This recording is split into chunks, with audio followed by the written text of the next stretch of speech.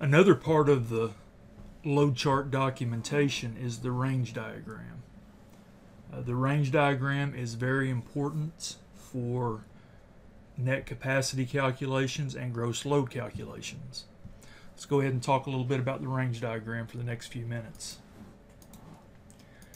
The range diagram contains information for the operating radius found at the, the lower part of the range diagram document or image, boom and extension lengths from 35 feet of boom up through the 56 foot extension over on the right hand side of the diagram.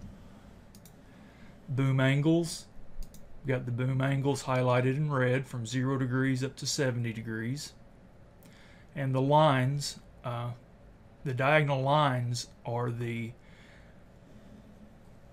indicators for the different boom angles. The range diagram also contains information for the tip to ground distance, or as they say, as it's labeled on the diagram, height from ground in feet, which is again the tip to ground distance or the tip height. And this tip height is used to calculate the wire rope deductions. And the wire rope deductions are used or a component of net capacity calculations or gross load calculations. That's pretty important. Uh, a common mistake made on load chart problems is a miscalculation of the wire rope weight. And that miscalculation of the wire rope weight may be because the range diagram was not interpreted properly and the tip to ground height was incorrect. Let's go ahead and take a closer look. Uh, here's an example. I just show you how, how I use the range diagram. What is the tip to ground distance with 90 feet of main boom and a 50 foot radius?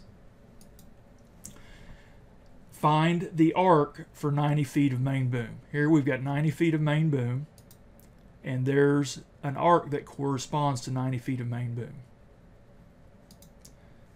Find the vertical line corresponding to a 50 foot radius. We have all of our radius values uh, along this lower axis. There's 50, 50 feet. So let's go ahead and, and create a line there to illustrate what we're doing. Okay, so we've got the 90, 90 foot boom arc the 50 foot radius vertical line. Those two uh, line segments intersect. At that point where they intersect, draw an imaginary straight line over to the left. And on the illustration here, it's not imaginary. I'm actually putting in a green line to illustrate that imaginary straight line over to the left. And wherever that straight line ends up, that is your tip to ground distance or your tip height 80 feet. The tip to ground distance with 90 feet of main boom and a 50 foot radius is 80 feet. And 80 feet is the distance that you'll use for your wire rope calculations. Uh, a note, and I'll mention this again, it will be illustrated in the next example, but let's go ahead and mention it now because it's, it's important. If the intersection of boom and radius fall between two tip heights, use the greatest tip height. What does that mean? Well, if your green line ended up falling between 80 feet and 90 feet, you would use 90 feet as your tip height. If it fell between 70 feet and 80 feet, you would use 80 feet as your tip height. Always use the greatest tip height. Another tip and this I think this is a helpful tip. This is what I've done when I've taken the exams. Uh, you will be given some scrap paper to work your problems out on.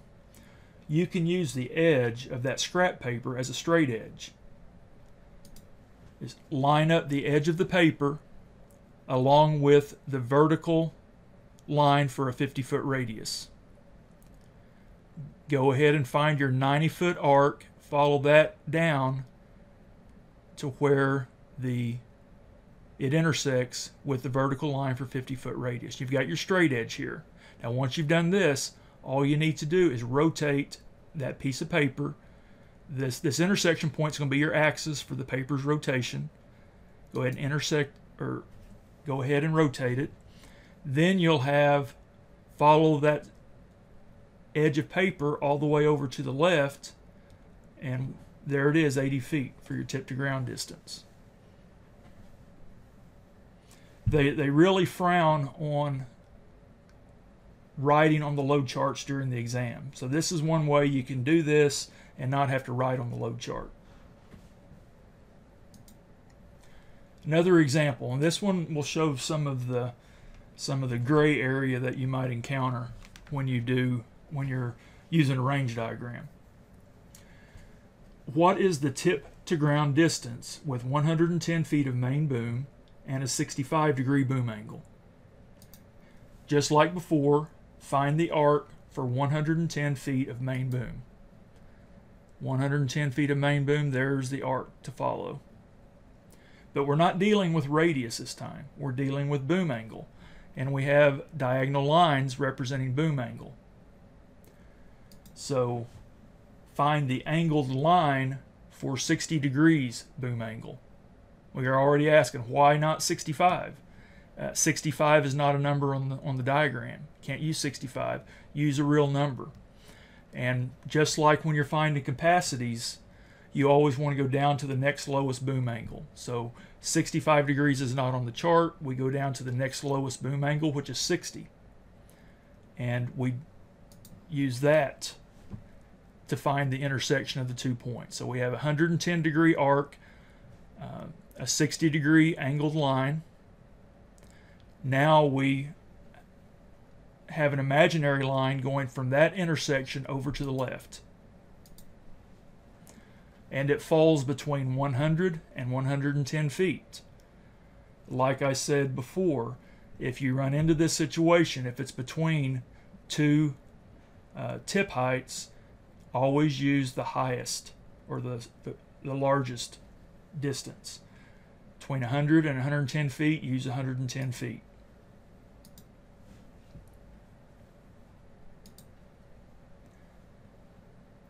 Again, let me read this note again. If the intersection of boom and radius fall between two tip heights, use the greatest tip height. Also, let's let's go ahead and let me read this note down at the bottom. If radius or boom length are between values, use the next longest. If boom angle, which we have in this problem, if boom angle is between values, use the next smallest. You can also use the uh, straight edge uh, or your your scrap paper as a straight edge for, for this type of situation as well. Just line up the edge of your paper along with the diagonal line for 60 degrees, rotate it around, and the line to the left or the edge of your paper, you follow that edge over to the left. This edge here, follow that over to the left. It ends up just below 110 or between 100 and 110. And we're going to use 110 as our tip to ground distance or tip height.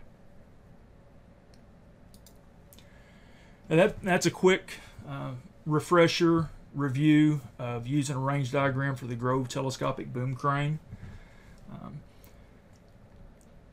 you probably will only need it on those problems where you have extra wire rope and you have to calculate a wire rope deduction.